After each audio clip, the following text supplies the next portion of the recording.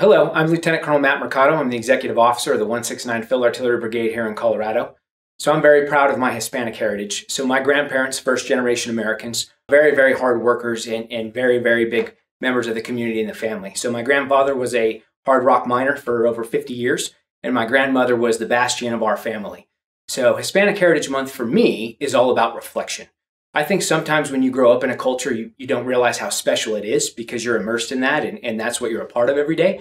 And then once you grow up and get out and see the world a little bit, you're you, you need to take time to stop back and look and, and think of the wonderful things and all the immeasurable contributions that the Hispanic community has brought to the United States. Uh, the food, the focus on family, the work ethic, all of those incredible things.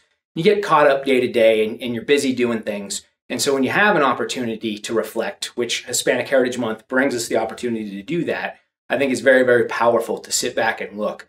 So I would offer you every single time we get a chance to do this in, in any month, whether it's Hispanic Heritage Month or or any other chance to reflect, to take that opportunity to reflect.